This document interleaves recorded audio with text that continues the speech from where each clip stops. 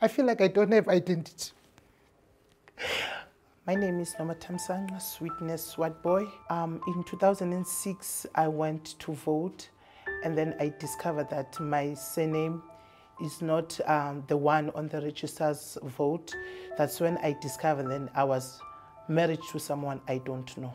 I made it a point that on Monday, it is the first thing I had to go to um, Home Affairs, and then I told them my problem. They did check on their on their system. Then indeed they find out that um, our, I was married. Every moment I go to Home Affairs, I'm being treated like like nobody. There was a time I was even told that we are done with your matter. Don't make your problems our our problem. There was even a point that uh, I felt like I'm not South African. It's like I'm not South African. I'm not enjoying any benefits as, an, as a South African.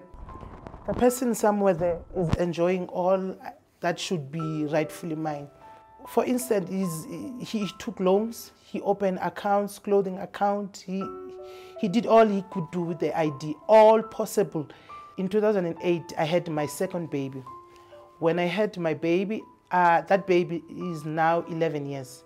That baby is not registered with Home Affairs because uh, they told me that if I have to register for him to get a birth certificate, the birth certificate will have to have the, the surname I'm fighting for. What, what is stressing me even now, worse than all, if, if I die, what will happen to my boy?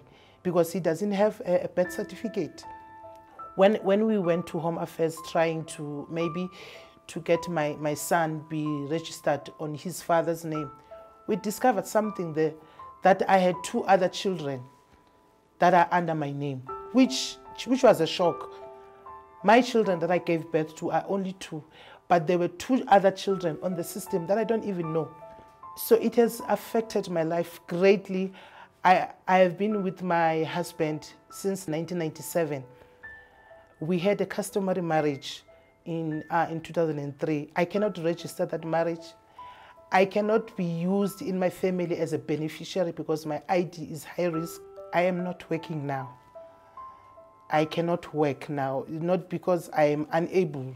Prior than that, I used to, I used to work for the bank. My career was built uh, based on the, uh, on the bank sector since that's what I've worked for. I had goals when I grew up that I will, I will, I will provide even my, my family where I come from. But even myself, I'm a, I'm a dependent now. Even if I go for an interview, the interview will go well.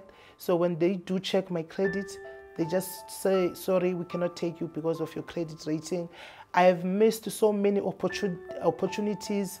I'm even looking for a job as a cleaner whereby there will be no checks for my credit rating.